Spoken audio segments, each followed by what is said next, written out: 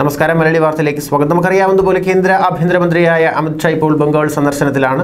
അവിടെ നിർണായകമായ ഒരു പ്രഖ്യാപനം അമിത്ഷാ നടത്തിയിരിക്കുകയാണ്.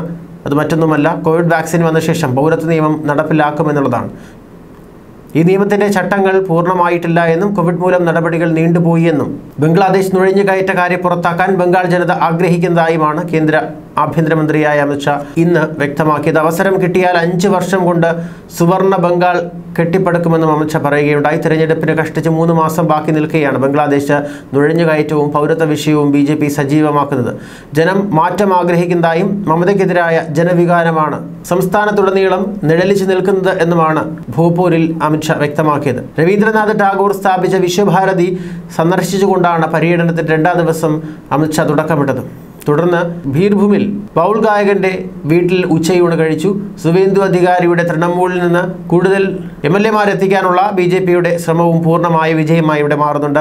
ഭാവി പരിപാടികൾ ആസൂത്രണം ചെയ്യാൻ സുവേന്ദുവിനോട് ഡൽഹിയിലെത്താൻ അമിത്ഷാ നിർദ്ദേശിച്ചതായാണ് പുറത്തുവരുന്ന വിവരം. Trinamool Congress C P M C P I എന്നീ പാർട്ടികളിലെ ഒരു ഡസനിൻ അടുത്ത് വരുന്ന എം എൽ എമാരെയാണ് മിഡ്നാപൂരിൽ ശനിയാഴ്ച അമിത്ഷായിൽ നിന്ന് ബി ജെ പി അംഗത്വം സ്വീകരിച്ചത്. തെരഞ്ഞെടുപ്പ് വരെ എല്ലാ മാസവും അമിത്ഷായുടെ ബംഗാൾ സന്ദർശനം ഉണ്ടാകുമെന്നും ബി ജെ പി വൃത്തങ്ങൾ വ്യക്തമാക്കുന്നുണ്ട്. അതേസമയം ഐ പി എസ് ഉദ്യോഗസ്ഥരുടെ സ്ഥലമാറ്റം ഫെഡറൽ തത്വങ്ങൾ മറികടന്നുകൊണ്ട് സംസ്ഥാനങ്ങളുടെ അധികാരങ്ങൾക്ക് മേൽ കേന്ദ്രം കടന്നു കയറുകയാണ് എന്ന് ബംഗാൾ മുഖ്യമന്ത്രി മമതാ ബാനർജിയും ആരോപിച്ചു. മമത സർക്കാരിനെ വെല്ലുവിളിച്ചുകൊണ്ട് കേന്ദ്ര ആഭ്യന്തരമന്ത്രി അമിത്ഷാ ഈ സന്ദർശനത്തെ വലിയ രീതിയിൽ കൊഴിപ്പിക്കുന്നുണ്ട്. മമത സർക്കാരിനെ താഴെയിറക്കും എന്നാണ് അദ്ദേഹം പറഞ്ഞിരിക്കുന്നത്. അഴിമതി മാത്രമാണ് ബംഗാളിൽ നടക്കുന്നതെന്ന് അമിത്ഷാ വ്യക്തമാക്കുന്നുണ്ട്.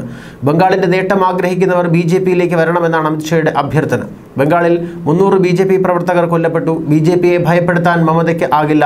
നുഴഞ്ഞുകയറ്റവും അഴിമതിയും അവസാനിപ്പിക്കുമെന്നും അമിത്ഷാ പറയുകയുണ്ടായി. അമിത്ഷായുടെ രണ്ടാം ദിവസത്തെ ബംഗാൾ സന്ദർശനം ഇന്ന് അവസാനിക്കുകയാണ്. ബംഗാൾ പിടിക്കാനുള്ള രാഷ്ട്രീയ നീക്കങ്ങൾ ശക്തമാക്കിയിരിക്കുകയാണ് അമിത്ഷാ ഇതിലൂടെ. ഇരുന്നൂറിലധികം സീറ്റുകൾ നേടി പശ്ചിമബംഗാൾ ബി ജെ പി സർക്കാർ രൂപീകരിക്കുമെന്നായിരുന്നു കഴിഞ്ഞ ദിവസം അമിത്ഷാ തെരഞ്ഞെടുപ്പ് റാലിയിൽ വ്യക്തമാക്കിയത്. തെരഞ്ഞെടുപ്പ് അടുക്കുമ്പോൾ തൃണമൂൽ കോൺഗ്രസിൽ മമത മാത്രമേ അവശേഷിക്കൂ. രണ്ടായിരത്തി ഇരുപത്തിയൊന്നിൽ ബംഗാൾ ഭരിക്കുക ബി മുഖ്യമന്ത്രിയായിരിക്കുമെന്നും അമിത്ഷാ ഇന്നലെ പറയുകയുണ്ടായി. അതേസമയം അമിത്ഷാ പങ്കെടുക്കുന്ന റാലികളിൽ വൻ ജനസാന്നിധ്യമാണുള്ളത്. നിരവധി റോഡ് ഷോകൾ താൻ സാക്ഷ്യം വഹിച്ചിട്ടുണ്ടെങ്കിലും ഇത്തരമൊരു ജനക്കൂട്ടത്തെ ആദ്യമായാണ് കാണുന്നത് എന്നാണ് ബംഗാളിലെ ബേപ്പൂരിൽ നടന്ന പൊതുയോഗത്തെ അഭിസംബോധന ചെയ്ത് സംസാരിച്ചുകൊണ്ട് അമിത്ഷാ പറഞ്ഞത്. ഇത് നരേന്ദ്രമോദിയോടുള്ള സ്നേഹവും വിശ്വാസവുമാണ്. നിരവധി റോഡ് ഷോകൾ ഞാൻ കണ്ടിട്ടുണ്ട്. പലതും ചെയ്തിട്ടുണ്ട്. പക്ഷേ ഇതുപോലൊന്ന് ഈ അടുത്ത വർഷങ്ങളിൽ ഞാൻ കണ്ടിട്ടില്ല എന്ന് പറയാൻ ആഗ്രഹിക്കുന്നു. ഇത് മോദിയോടുള്ള നിങ്ങളുടെ സ്നേഹവും ദീദിയോടുള്ള നിങ്ങളുടെ ക്ഷോഭവുമാണ് പ്രതിഫലിപ്പിക്കുന്നത് എന്നാണ് അമിത്ഷാ പറഞ്ഞത് ഒരു തവണ മോദിക്ക് അവസരം നൽകൂ. അഞ്ച് വർഷം കൊണ്ട് സുവർണ ബംഗാൾ സൃഷ്ടിച്ച് തരാമെന്നാണ് Amit Shah അവകാശപ്പെട്ടിരിക്കുന്നത്. News desk Malayali Vartha.